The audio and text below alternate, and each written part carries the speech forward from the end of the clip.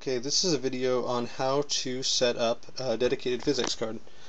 Alright, here are the two cards I'm using. This is a GTX 560, the non-TI version, and this is a, uh, this is EVGA by the way, this is right there, and this is, a, what is it, it's a BFG Tech 260 GTX. Uh, this is the 1 gig model, and this is the 786 uh, meg model. GDDR5, uh, DDR3. Alright, you're going to need a motherboard with two PCI Express slots. Um, you're also going to make sure your power source will handle it. Um, these two, start with the dim lighting. Actually, wait, let's see if I can get this a little bit. There we go.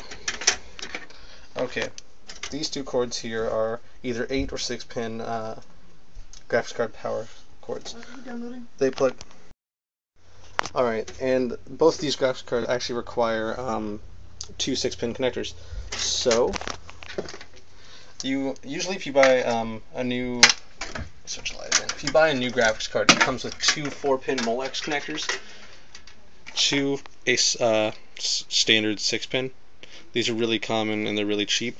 Um, I actually, with my power source, it is uh, Rosewill 650 watt. I actually did have to uh, use these. I didn't have any extra ones. And this is a modular power source. And all you do is I'll just toss them in there real quick in just a moment. Okay, and this is how it looks with both of them in there. Uh, I didn't connect the power, and I'm not actually going to turn it on. But what all you do is, uh, once it gets turned on, uh, NVIDIA will find its own drivers again for both cards, or whichever card's new to the system. Uh, let it do that, and the drivers are kind of big. I think they're like 280 something megs. And all you do is you go into the uh, settings, and you um, you'll see the set PhysX configuration, and just set whichever dedicated card you want. Apply the changes, and that's it. Um, I'm going to post a video after this of uh, running Borderlands either with the 560 as the primary card or or as the PhysX card, just a standalone, or with this one right here as the dedicated PhysX card. Alright, that's it.